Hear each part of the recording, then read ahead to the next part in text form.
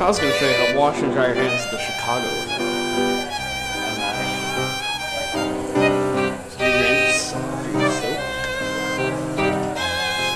Between the fingers, under the fingernails, and then you go follow go. You put your hands in, and it blows. And you slowly pull out.